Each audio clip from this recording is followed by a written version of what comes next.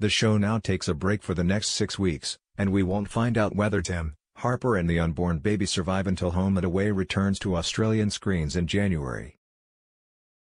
While we wait, here's all we know about what's coming up in Summer Bay in 2025.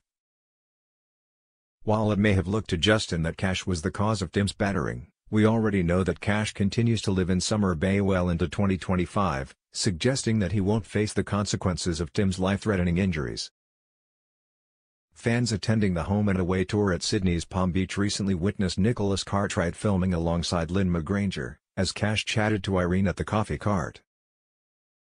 The scenes were filmed in early October, and with Home and Away filmed roughly six months before episodes hit our screens, this confirms that Cash will remain in Summer Bay for at least the first few months of next year, if not for a long time to come.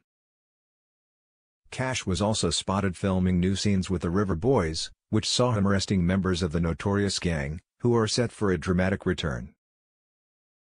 He also seems to have gained a promotion back to senior constable, after taking a demotion back to constable when he returned to Yabbie Creek Police last month.